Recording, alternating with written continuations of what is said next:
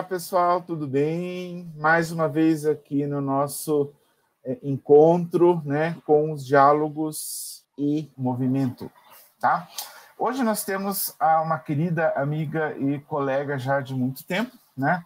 Professora Edmeres Prada, né, que vai estar conosco falando um pouco de suas experiências e é, contribuindo bastante com outras áreas também, né? Ela já participou de conexão e hoje estará falando, dedicando um pouco do seu tempo sobre é, su, sua trajetória, suas perspectivas. Dimela, então, se apresente, fale para nós quem é você. Pois é, então, é, olá Paulo, olá todo mundo aqui está assistindo. Então, eu sou bióloga, né? Apesar de que às vezes a gente esquece a nossa profissão lá atrás, né? Porque o tempo já passou tanto, então, mas sou bióloga, tenho especialização em farmacologia de plantas medicinais pela Federal do Paraná. Aí eu tenho especialização em ecoturismo também, que foi uma área que eu sempre gostei, sempre gostei, não só de, né, de viajar, mas também de entender um pouco essa parte do ecoturismo. Tenho é, mestrado em ciências veterinárias, porque eu trabalhei muito tempo com cultivo de células. Isso é, foi quando a gente faz biologia, a gente tem várias áreas, né? Então a gente vai escolhendo dentro da própria graduação da gente aquilo que mais a gente gosta. E dentro que eu mais gostei da biologia, claro que eu já fiz até trabalhos com em Pontal do Sul, na área marinha, mas eu gostava muito de cultivo de células. Né? Então, sempre gostei de cultivo celular, fui estudando cultivo de células, fui fazer um mestrado nessa área, né? mas acabei entrando na medicina veterinária porque eu tive um convite para ir para a Antártica, justamente para cultivar células de peixes da Antártica. Então, às vezes as pessoas dizem assim, ah, coisa de biólogo, né? Mais ou menos, né? A gente vai entrando aí nessa área e eu me apaixonei por cultivo de células, né? E, e na época, assim, isso faz tempinho, é uma área que estava começando, então não tinha muita gente fazendo isso. Aí eu fui convidada para fazer um curso de biotecnologia nessa área, né, de cultivo celular e anticorpos monoclonais, na Argentina. Fui lá, acho que éramos só em oito pessoas do Brasil convidadas para fazer isso. Não tinha muita gente que fazia cultivo de células, né? Foi muito bacana. Depois fiquei no Centro Pan-Americano de Febre Aftosa, lidando com anticorpos monoclonais. Trabalhei dez anos com vacina antirrábica no Tecpar, né? Foi um tempo maior na área da ciência.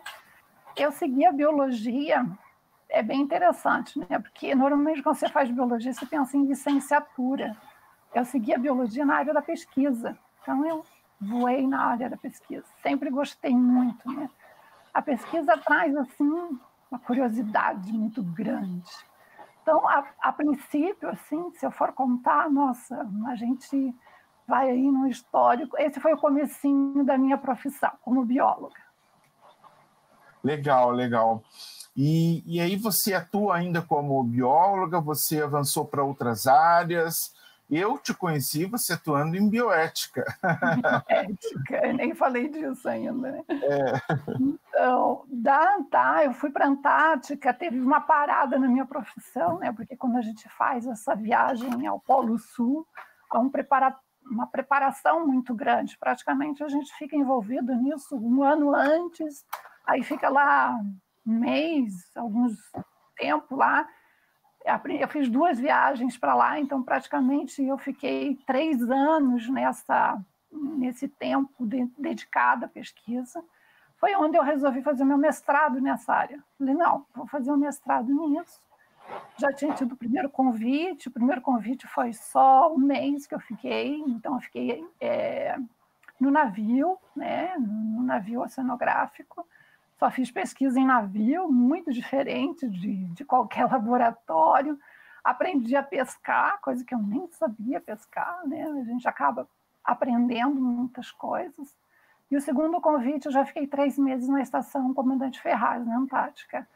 É, acho que lá eu aprendi muitas coisas, muitas coisas que aqui a gente não tem essa, essa possibilidade de estar no silêncio, né?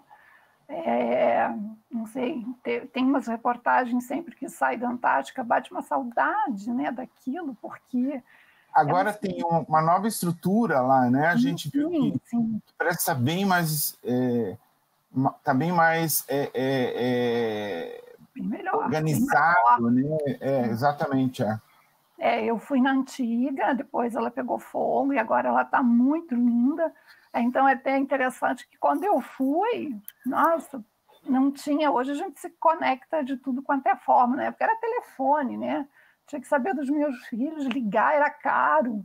Então, para a gente se comunicar, a gente ficava meio que incomunicável lá mesmo. Então, esse fato de você não ter notícias do teu país, você estar num silêncio que você... Eu, no laboratório, eu só escutava o barulho do pinguim passando na porta, né? Mais ou menos isso. Mas eles passavam mesmo? Tinha ali ah, na estação pinguim? laboratório, assim, é? é. E a gente tinha os nossos passeios, que eram passeios monitorados, né? Porque lá qualquer tempo, a qualquer movimento, é, o vento é muito forte, muda muito a temperatura. Então eu tenho assim histórias mil para contar do que aconteceu comigo lá na Antártica, né? Porque eu tinha que sair. Fique à vontade de contar, é interessante aqui para nós. Eu tinha que sair, imagine, né? A gente tem que sair pescar o peixe para poder levar para o laboratório e trabalhar com o peixe. Não era assim. Ah, ah eu achei que você pescava para comer. Não, a gente nem pode comer, né? A gente não ah, pesca, a gente não come os peixes da Antártica porque existe todo um, é, a ciência, né? Um ecossistema. Não, Vocês não. levavam a comida toda daqui? Toda a comida é o próprio ProAntar, né? O programa antártico que tem. Então, na, quando eu estive lá, tudo é congelado, né? Então, acho que até saiu uma reportagem esses dias no, na, na, no Fantástico falando que a menina ficou 15 dias lá, acampada, é diferente. Eu fiquei na estação, e aí tem algumas é, outras, é, como que eles dizem, tem, tem, tem vários tipos de pesquisa lá. Tem gente que fica mais isolado, tem gente que fica na estação, comandante Ferraz, né, fazendo pesquisa lá dentro, foi o que eu fiz, fiz pesquisa lá dentro. Eu trabalhei com células da retina do peixe antártico. Nossa! Então, meu objetivo era pescar o peixe, pegar o peixe, né? A gente saía pegar o peixe, levar para o laboratório, tirar as células da retina e mesmo assim os peixes que a gente não utilizava ficavam guardados lá, né? Ambientalizados, a gente devolvia para o mar, né? Então você pesquisava no peixe vivo? Não, não, não. Não, a hum. gente pegava os peixes, deixava lá e usava, e quando não usava, devolvia para o mar, né? Então, e você, é desculpe a pergunta, parece meio tola, mas vocês pescavam com vara e, não. e, e anzol? Não, né? Com rede. Rede. Ah, tá. A gente tá. saía de bote e tá. é bem interessante porque tem histórias assim muito doidas, né? Porque fica imaginando você em alto mar, né? Um frio, né? com aquelas roupas todas especiais joga a rede, espera um pouquinho, pega o peixe. Então, tem uma das, das situações que eu estava puxando a rede com luva, e a luva é, usa por causa do frio, mas te tira um pouco da sensibilidade, né? E eu puxei a rede, veio uma coisa estranha na rede, eu soltei, né?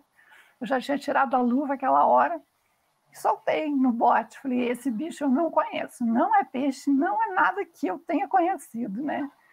E foi muito engraçado, né? Porque daí eu, na hora, o que, que você faz? Você olha aquilo, eu não conheço, vou devolver para o mar, né?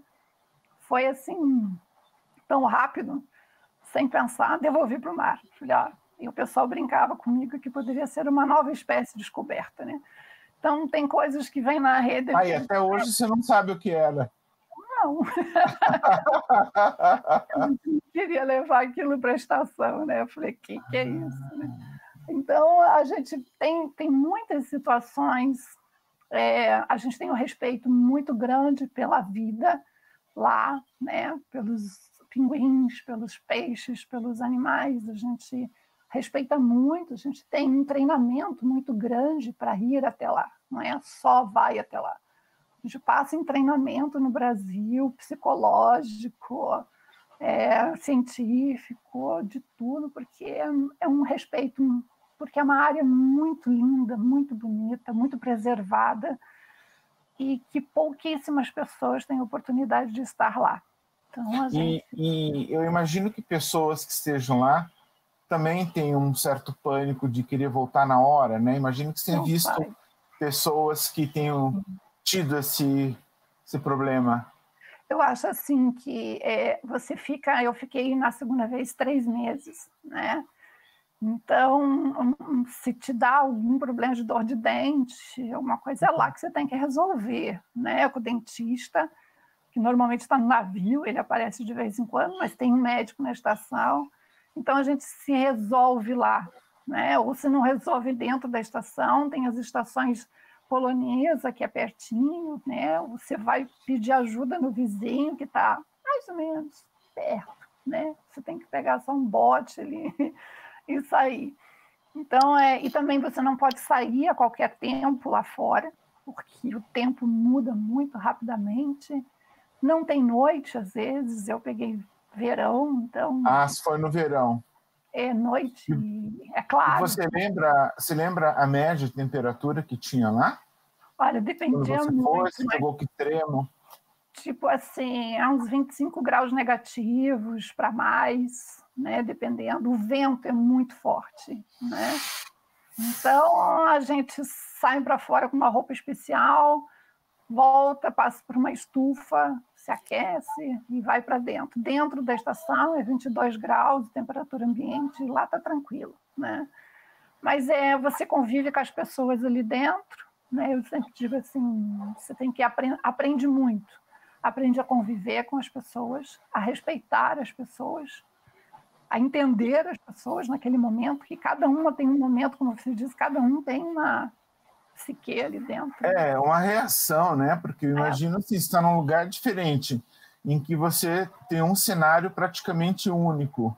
Você sabe que vai passar um tempo lá é. e isso pode gerar um banzo, né, na hora.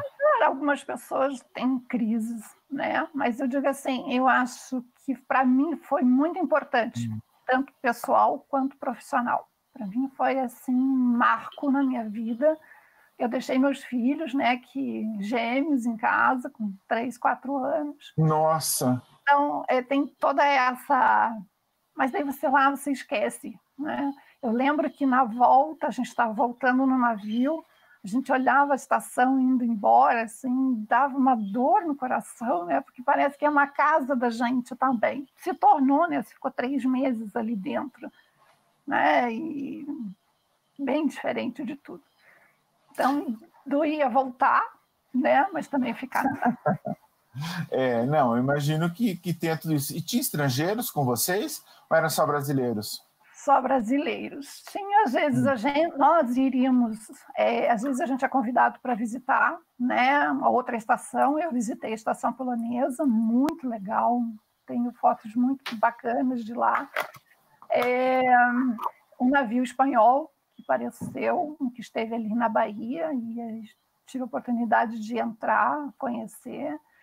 Então, às vezes a gente e também a gente desce na, no Chile, na, no, na na parte da Antártica chilena, né, onde a gente pega o navio. Então, para chegar até lá é, é, muita coisa. Você vai até o Rio de Janeiro, no Rio de Janeiro pega o, o avião, aí vai até Porto Alegre, pega as roupas, né? De lá você vai até o Chile, a base chilena, na Punta Arenas, de Punta Arenas vai até a base chilena, na Antártica, e assim, aventuras. Todo, é. Eu vi agora, agora eles estão com um avião muito bonito, né? Eu vi eles indo para a Antártica agora, apareceu essa semana. Nossa, com poltrona, tudo bonitinho. Na minha época. Mas, não, mas não pousa avião lá ainda, ou pousa já? Pousa na base chilena. É o único lugar Lá na Antártica? Na Antártica. você, é. você, mas você foi de navio? fui de avião até a base chilena. Da base chilena, ah, a gente pega tá. um navio. Aí a gente embarca no navio, aí chega pertinho da. A gente pega um helicóptero, vai para o navio, do navio pega um bote, do bote chega lá. Então, quer dizer, você não Se pega tivesse jegue, iria de jegue, né? Também, você não pega e, e, me diga uma coisa, e você convivia com é, pesquisadores de todas as áreas, você bióloga e outros. É? No Brasil todo, é, de várias áreas, né? O INPE sempre está lá, tanto que eles sempre fazem todo esse trabalho da temperatura, né? Do que está acontecendo no mundo. Acho que são pesquisas fantásticas. A gente contribui bastante com as pesquisas brasileiras. Eu lembro que eu fui a, uma das poucas pessoas que trouxe a célula de lá dos peixes para trabalhar aqui, porque eu trabalhei com respiração celular. Então, eu queria trazer a célula respirando aqui, né, nos laboratórios da Universidade Federal do Paraná. Então, é, a gente faz algumas coisas diferentes. Isso, para mim, foi estudar. Depois, eu também vi que é, estudei nutrientes né, que poderiam ajudar a manter a célula da retina do peixe da Antártica aqui isso eu poderia ter ido muito longe, até em tecnologias avançadas na área da oftalmologia. Né? Então, algumas coisas ajudou. É, o mestrado foi para mim muito diferente de tudo que eu imaginava na minha vida. Dali eu fui ainda, continuei com o cultivo de células. Eu digo que a Antártica. Só uma foi... dúvida: a tua viagem foi parte do, do mestrado? Do mestrado, ou... isso. Não, ah, foi o meu mestrado. É. A ah, foi sua vez... tese. Foi, é. foi. A primeira vez eu pensei em estudar o fígado, né? É, a ideia era essa.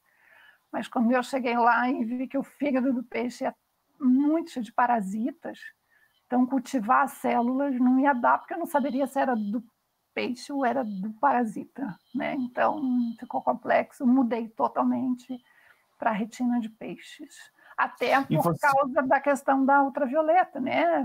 Da, da UV, isso também ajuda a gente a fazer pesquisas de receptores da retina. Aí foi longe, foram vários tipos de pesquisas que foram envolvidas nesse estudo. E você acha que é, a Antártida pode ser uma espécie de terra do futuro, onde alguém pode morar lá, ou você acha que é impraticável? Porque você sabe que tem extremos muito gelados na Terra, em que as pessoas vivem, né? Sibéria, o norte da, da Escandinávia, é. o norte do Canadá, né? Então... Eu não sei, assim, a Antártica, a base chilena tem uma comunidade, não sei quantas pessoas ah. tem lá, mas... Que moram, vivem lá. Era, não era muito, 50, 60 pessoas que moravam na base lá. Mas mais para dentro é muito frio, né? Então você tem que ter condições muito grandes para você viver lá. É diferente de você estar tá lá no Ártico, né? Então, eu acho que na Antártica eu não tenho a vegetação, a minha vegetação é. que eu vejo, a vegetação que eu vejo na Antártica é musgo, líquens, graminhas, no máximo. Já no Ártico eu não vejo isso, vejo árvores, vejo urso, vejo um monte de coisa. É. Dizem é. que em 100 anos os ursos acabam, né? Até é. pensei esses dias se se não seria possível levar os ursos lá para o sul, né? Porque, mas também o, o, o aquecimento também está se mostrando forte lá, né? Tá, então, eu não sei se o ano que você foi. Ah. Eu fui, já teve. Eu lembro que a gente subiu um morro para passear e a gente estava de manguinha curta, imagina, né? Se tirar de manguinha, a gente não fica muito exposto ao sol por causa do ultravioleta. Mas é, já estava uma calota polar é, se soltando. Então, isso já, isso foi em 1998 que eu tive lá. Então, já faz algum tempinho que a gente vem vendo esse, esses problemas acontecerem. É, é fato que eu acho que muitas coisas têm que melhorar no país, no mundo, no planeta inteiro, né, e preservar bastante essas calotas que acho que elas são tudo, né? Se começa a descongelar muito, a gente sabe que chove muito para cá, venta muito. Ah, não tem nem dúvida, né? Mas é interessante, né? Porque você vê o Ártico, né, sendo praticamente devastado, né, com muitas geleiras derretendo, e você sabe que o Sul também, né, a Antártica está num processo semelhante, né? Tá. Mas ali também, animais que você vai ter são o que? Os leões marinhos, focas, os pinguins lá no norte já tem o urso, já tem outros, né? É outros Então animais, isso é, né? é, um, É. é um problema. Mas é, eu deve ter a ver muitos pinguins. Na primeira viagem eu vi os pinguins de Macarena, que são diferentes, porque daí com o navio, a primeira vez eu fiquei no navio, então a gente vê outras espécies de, de, de pinguins. É, a- quer dizer, a baleia, né? São coisas lindas que você vê de Era, repente. era fácil ver ba- baleia lá? É, e bem nesse dia eu fiquei na dúvida, ou eu pego a máquina fotográfica ou eu vejo a baleia. Então eu preferi ver a baleia do que eu correr e não pegar, porque é tudo muito rápido que te acontece, né? Não é como a gente aqui agora, que nós temos celular e qualquer coisinha a gente está lá fazendo. Hum, Não, eu tinha máquina fotográfica mesmo. É. Uma delas tinha congelado com frio, ela não é Uhum. adaptada para muito frio. Eu perdi uma máquina porque ela umedece e aí estraga, perdeu a máquina inteira. Eu perdi alguns filmes, né? engraçado falar, mas na época era filme para máquina fotográfica. Se tem gente da nova geração aqui, eles nem sabem o que é isso, né? Eles vão ver isso no museu. Então a gente trabalhou isso tudo, né? É, eu acho interessante isso, né? Porque nós que estamos nessa fase, a gente viu aí uma, ah, hoje a gente está trabalhando praticamente na internet. Gente É, eu lembro que, mesmo com celular, quando eu estava na Islândia, eu fui filmar é, as termas, né, ejetando os, os geysers, os geysers, né, como eles falam hoje. É, o celular parou também, congelou, não congela. teve como, assim, tipo, acredito você que guarda. até hoje, né? É. Aí você guarda a imagem no teu coração, na tua mente, fica lá. Né? Essa, quem vai ver? Essa é a tua imagem. E eu acho que isso E- é importante. Você chegou a ver a, a aurora austral lá? lá Abril, tem? hum, Não, tem, mas é, é- Tem? vem lá por abril, eu acho, mais ou menos. Eu Ah, não foi na até- época. Não, Ah. eu fiquei até, acho que final, comecinho de março, assim. Então a gente já volta, porque daí começa a congelar. Aí o navio tem que voltar. No inverno fica alguém lá? Fica, fica o pessoal da base, da Marinha fica lá. Sempre tem Mas ficam praticamente recolhidos, né? Ficou. É, tanto que esse ano nem, nem foram pesquisadores para lá com medo de levar Covid para lá, né? É, não dá Então, mesmo, tem que isolar. não, é. não tem pesquisa esse ano. É, mas sempre tem, os pesquisadores sempre vão no verão. Então, Esse vai. ano, tem gente lá que não veio para cá ou não foi por Tem. causa do Covid ou Não, não, tem ninguém? Não, tem, tem um, um grupo da Marinha lá, tanto que eles fizeram aí uns, umas lives também. Agora dá para você com- conectar com eles para saber como é que está a nova estação, né? Do grupo que foi comigo, a gente ainda é amigos, né? Nós somos todos ainda unidos. A gente tem um Que legal isso, muito bom. da Antártica. Quando queimou, a gente chorou junto, nós choramos muito junto, porque foi uma perda enorme de tudo que tinha lá dentro. É, Perdeu-se pesquisas? Perdeu-se muitas coisas, porque eu lembro assim de quadros, de, de é, pedras que foram encontradas na época muito né, É. antigas, de que estava lá no museuzinho da, da Antártica. O melhor lugar para achar meteorito é, é lá, porque ele fica preservado, né? Em, em áreas habitadas, você tem muita gente que mistura com pedra, cata, né? E, e É. mexe, mas lá ele fica intacto, né? Essa é Não, uma das grandes vantagens. Eu lembro que tinha assim pedra com uma folhinha, assim, quer dizer que teve um vegetal na época, né? Alguma época teve. Então eu acho Ah, vocês uma- achavam assim? Muito interessante ter testemunho do tempo, né? É, testemunho. Então, eu tenho fotos daquela época, assim, da, da, da, da sala da, da estação cheia de quadros, assim, mostrando tudo que foi colhido, né? E, de repente, foi ali colocado e deixou... Quer dizer, teve uma perda muito grande para a ciência e para o mundo, acho que com as coisas que tínhamos lá. Mas a gente tem que... Né? É. Acontecer, aconteceu, né? Então, Seguir em frente, né? Eu acho que é importante nós é, sabermos que essas pesquisas fazem a diferença e fazem não só pelo resultado, né? Mas pelo processo também. Estar pesquisando, interagindo, conhecendo esse mundo novo, porque praticamente um continente à parte, né? Muito à parte, muito, muito. É, é eu disse assim, pessoalmente para mim foi muito importante também, porque a gente cria paciência, tolerância, a gente cria valores que de repente a gente aqui não, a gente está tendo tempo agora de pensar, né, com essa pandemia. Mas às vezes no teu dia a dia você não está, você aprende a lidar em equipe, trabalhar em equipe, que é muito importante, né? Você depende do outro ali, ali você depende. É. Você depende de gente que te faça a comida. No domingo, sábado e domingo, somos nós que iríamos, íamos para a cozinha. Então, é hum. o pessoal que pesquisador que vai para a cozinha cozinhar, né? Então, a gente... Ah, tinha uma equipe é, de cozinheiros, e aí no domingo hum. vocês... É folga isso. deles, e aí a gente tinha que fazer comida para 50 pessoas, que é bem diferente, né? Então, a gente se virava, assim, ao mesmo tempo, o que foi muito importante, a questão do lixo, né? Todo lixo lá é recolhido, é separado. Então eu aprendi muito porque eu também tive que fazer meu estágio no lixo. Teve um dia que você é designado, ó, oh, esse dia você tem que estar lá fazendo a separação do lixo. Então a equipe vai para separar o lixo. E esse lixo, ele ele fica lá ou vem para cá? Não, ele é todo embalado e volta para cá, não fica nada lá, nada. Então é, a gente tem que separar. É, a gente aprende a separar. É, metal, plástico, papel, é tudo separadinho. Isso para mim influenciou muito, que eu sou assim até hoje aqui na minha casa, né?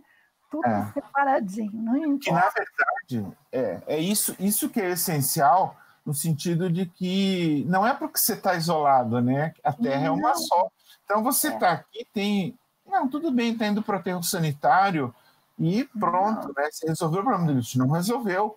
Você não tem como andar para fora da Terra esse lixo. Esse lixo continua aqui. Continua Tanto que é uma discussão sobre alguns países que vendem é, ou compram né, espaços em outros países para enterrar lixo atômico, lixo radioativo, lixo tóxico, lixo químico. Então, isso, isso é, talvez seja um dos grandes aprendizados, né, Edmere? Então, eu acho que isso é, é, foi muito forte para mim, enraizou muito. Então, até eu tive uma época que eu comecei a dar aula de educação ambiental, porque é muito importante você ter essa consciência do que você consome, do que você leva para sua casa.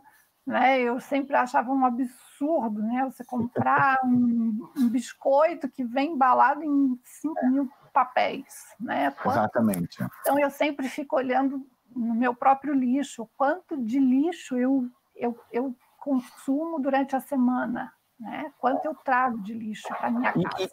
E, e, e, nem é você, né? Você já tem essa consciência, mas a nossa estrutura cultural do Ocidente, é. mas no Japão também é a mesma coisa, é você embalar, embalar, embalar, da embalagem, embalagem. e a hora de jogar fora, você simplesmente despreza aquilo. É. É. A gente não reutiliza, né? Claro, é um processo que leva tempo, né? Você vê na Alemanha, não tem essa opção de você descartar. Né? Ir para o supermercado é, e ter sacolinhas. Sacolinhas são caras se você quiser comprar. Aqui não, aqui não pega. Né? Você tem alguns estados, algumas cidades que ainda você leva isso, mas aqui não vai. Agora, se está na Antártida, você tem que fazer, porque não tem outra opção, né? Não, Talvez eu... chegue um dia que essa é. situação esteja conosco, né? É, de um bombom, eu tenho que tirar a parte metálica do plástico, né? Então eu ficava uhum. tão brava, porque daí quem tem que fazer é a gente que estava lá no lixão, que tem que separar, né? A pessoa só pega lá, mata e joga, né? Depois você é. vai lá para você vai para o outro lado, você faz o outro papel, e aí você vai ver. Então, por isso que eu digo para as pessoas assim: vá ver o trabalho do catador de lixo. Vá lá, aí quando você vê isso, você tem um pouquinho mais de. Na hora de você jogar, você não joga assim, bala, porque ele pode se cortar com vidro, ele pode se contaminar com alguma coisa. Né? Então, isso é muito importante. É uma e... consciência com responsabilidade. Exatamente, e é no volume né, que você faz uhum. isso. Imagina eles trabalhando com toneladas. Né? A uhum. gente tem opção aqui, quebrou, a gente quebrando um copo em casa já se corta, se machuca. Imagina isso em proporções Aí. grandes. Então, né? coloca na caixinha, coloca na latinha, coloca o nominho, a vidro, né? Então, tudo a gente tem que separar, e acho que isso, a educação ambiental veio para mim já da biologia, eu acho que isso forçou muito. Então, eu, eu digo assim, é um divisor de águas Antártica para mim, porque veio muita coisa, aflorou muita coisa dentro. Certo. Da... E, e, a partir de lá, aí isso te fez rever alguns conceitos? Você atuou em outras áreas? Então, eu continuei com cultivo celular um tempo, fui a Paris, aí entrei. Isso me, me levou muito a essa questão da biotecnologia. Né? Hum. Do que mais a gente pode fazer com cultivo de célula? Estudei muito a área da toxicologia dei aulas aí por muitos e muitos anos na área de toxicologia, porque também me preocupava. É, na verdade, tudo que a gente produz, produz muitas coisas tóxicas. E a gente consome muitas coisas que a gente não tem noção do que a gente está comendo e o que, que aquilo faz para as nossas células. Então, no cultivo celular, eu conseguia fazer muito essa toxicidade, né? Então, eu trabalhei muito com esses produtos que entram em contato com a pele, a gente fazia no laboratório se era tóxico ou não é. A gente pensa assim, ah, o quê? Fralda descartável. Né? Tem, a fralda tem um elastiquinho, que às vezes aquilo é, é tóxico para a pele do bebê, né? ou aquele tecido não tecido entrando em contato com a pele, ele pode dar uma alergia. Então, essas questões todas, assim, eu fui pesquisando, fiz vários trabalhos na área de toxicologia com cultivo de células. Depois, eu fui chamada para fazer um, uma viagem para Paris. Fiquei no Instituto Baltimore, no Hospital Petit Salpêtrière, onde eu fiquei vendo a parte de biotecnologia em cultivo de células, mas para transplante, né? infarto do miocárdio. Então, trabalhei muito com infarto em camundongos, a gente faz toda essa pesquisa em, na época, né? lá se fazia muito em, em animais de laboratório, e eu sempre fui mais para o cultivo de células, porque eu amo os animais e dá uma dosinha, né? Então, ah. a cultura de células eu já não estou usando animais, estou usando. Isso é, um, é uma coisa que está ainda evoluindo, né? Então, muitos pedem né, cosméticos que não sejam testados em animais, é, que a gente use o cultivo de células. O cultivo de células é uma opção. É, vacinas, passei a trabalhar com vacina antirrábica em cultivo de células. Então, eu fiz várias coisas na área da célula, do trabalho. Essa questão de Paris foi muito interessante, porque era uma nova tecnologia, tanto da Alemanha quanto da França, na área de transplantes. E fiquei nesse projeto por um tempo. Aí resolvi entrar para a bioética. é a partir daí, então. Isso, porque aí você vai vendo muitas coisas, né? É muito, a ciência é muito abrangente, muito, muito, muito, muito. Eu saí do peixe, fui para ser humano, e o fato de você a ética pegou, pegou muito pesado na minha vida, né? Porque Esse você, ser humano veio para a sociedade. porque você faz a pesquisa e você é o pesquisador. Você está aqui no laboratório. Hoje a gente está vendo essas questões de vacina. Eu trabalhei com vacina por anos na vida, né? Então, ai, a vacina tem que sair um ano. Apressa-se a ciência para fazer isso. Mas não é assim. Existe uma responsabilidade e uma ética tão grande que, que não é que seja uma barreira, é uma necessidade que você tem que ter segurança daquilo que vai para o ser humano. Não vou liberar algo agora para né, tratar o problema da Covid, sendo que pode me dar reações ou efeitos colaterais disso que eu estou tomando hoje daqui a 5 ou 10 anos né? Então, eu tenho, eu tenho que liberar uma vacina que eu tenha segurança. Ah, tenho segurança? Ótimo. Por isso que não se apressa as coisas. A ciência, a ciência é assim. É, é. Você estuda, estuda, estuda, estuda e é, eu, como epidemiologista, que a gente também atua em ensaios clínicos, a gente sabe disso, né? As é. várias etapas, né? Os estágios uhum. desses testes, você vai ter que ir vendo né? O que, que acontece? Né? Quando a prevalência é pequena, quando a prevalência é grande, que diferença faz? Né? é, de um medicamento ou de uma vacina, né? Num, uma determinada população. Isso é, é, é essencial e, e acho que só numa situação como essa que você tem que partir, né?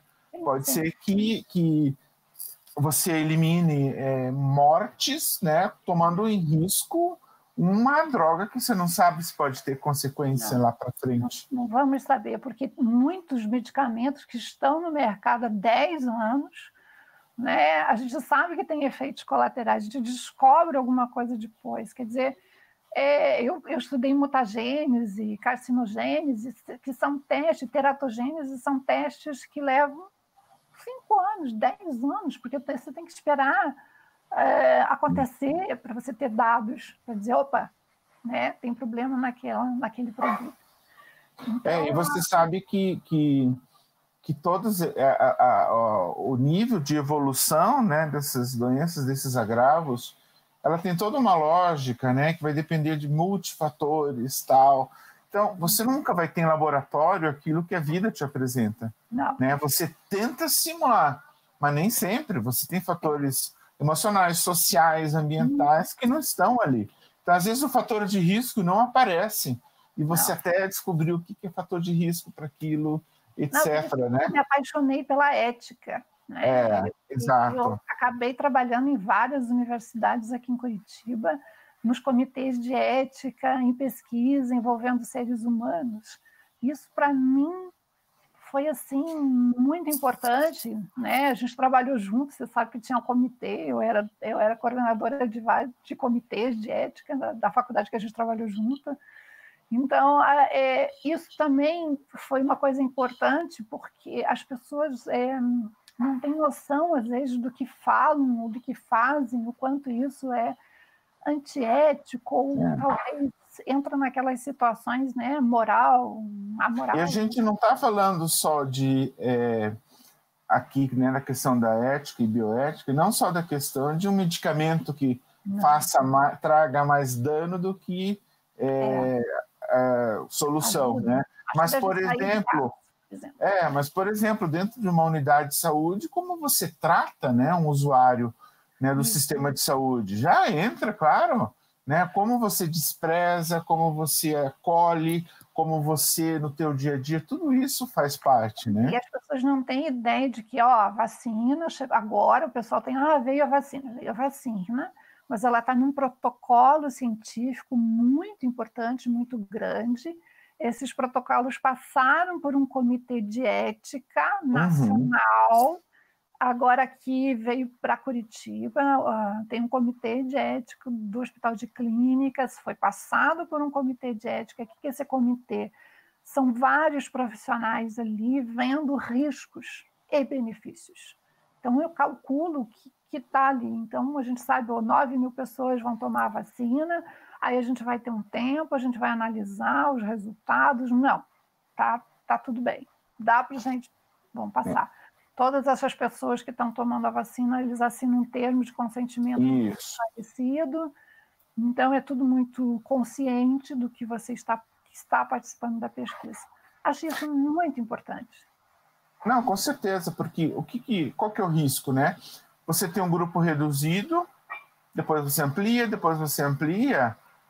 Você só pode ter efeitos adversos quando eventualmente você tiver um grupo que, por alguma razão estatística, não entrou nos grupos menores e lá eles começam a ter. Né? Então, isso, isso é essencial.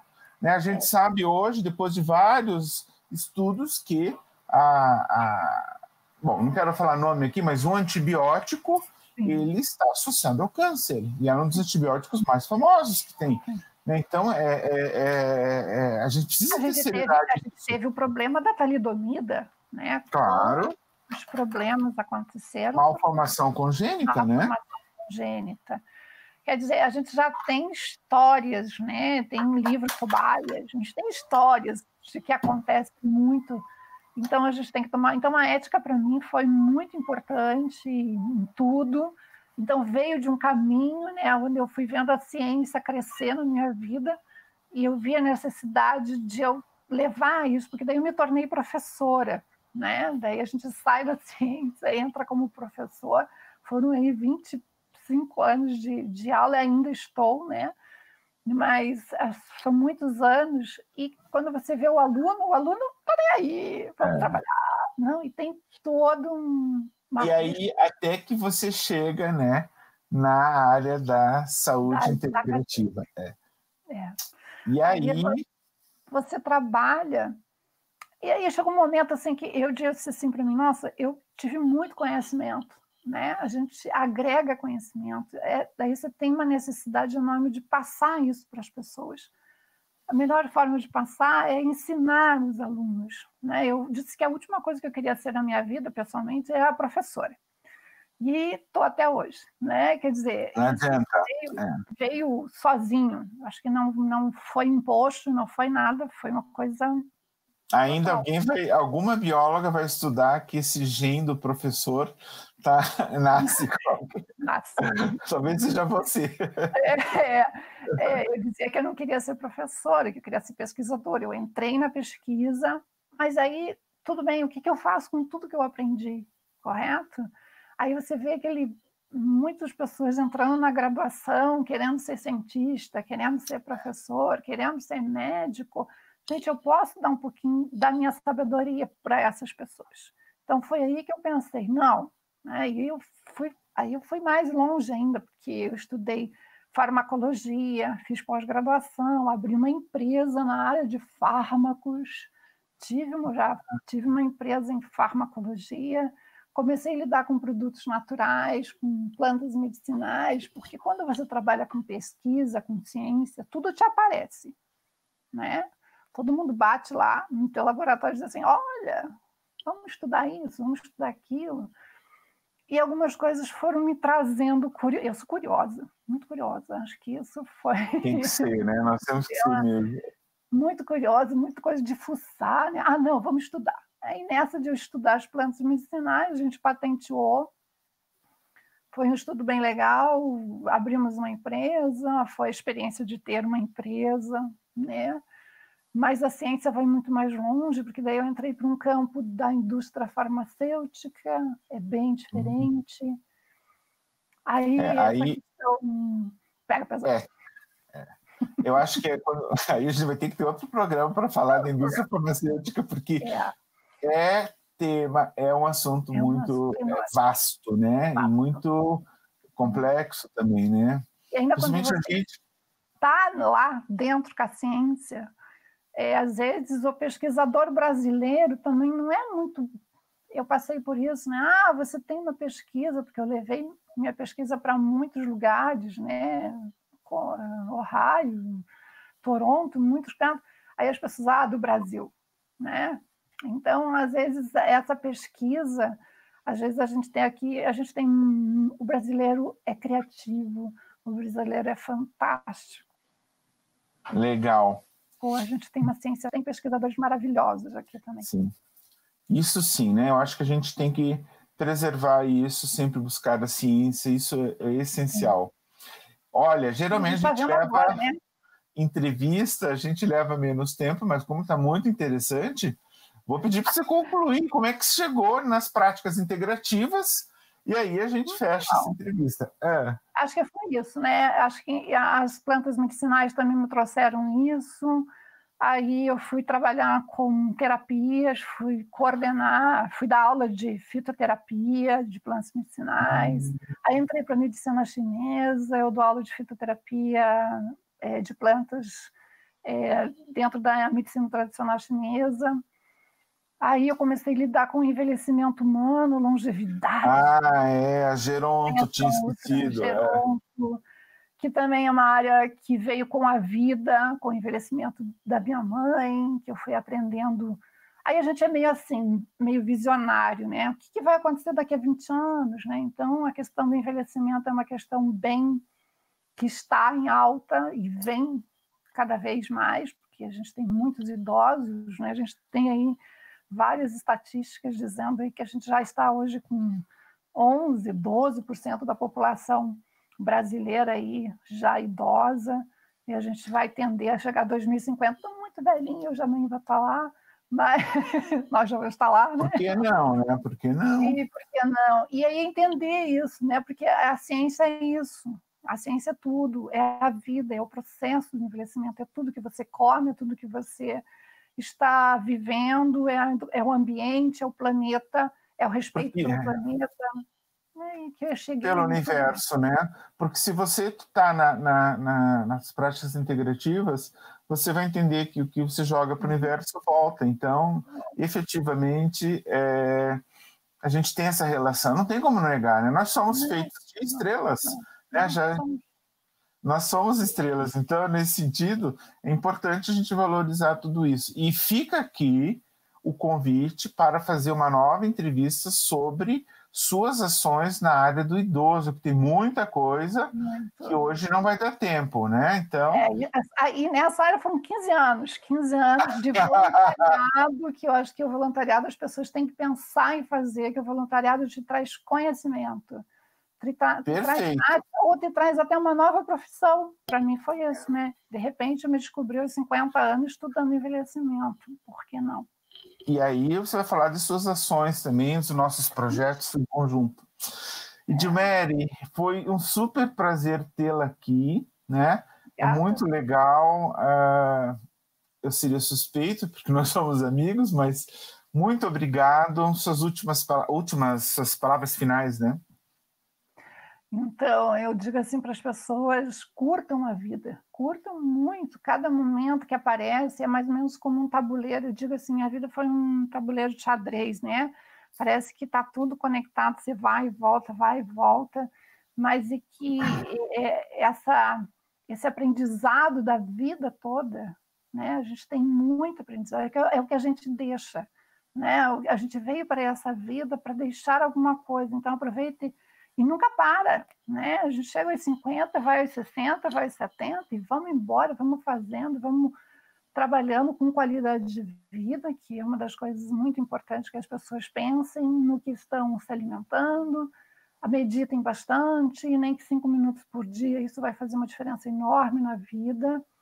Hoje a gente está nessa calmaria, entre aspas, né? Mas a gente está inovando, a gente está inovando para dentro, inovando para fora. Né? A gente está buscando novas formas de se comunicar, novas formas de viver, e o equilíbrio é importante. Então, que todo mundo não se desespere, que a gente busque o equilíbrio, que tudo flui. Né? A gente tem que pensar com calma tudo na vida. Legal, Edilmério. Nossa, super interessante. E obviamente que com tudo isso a gente vai voltar a se falar.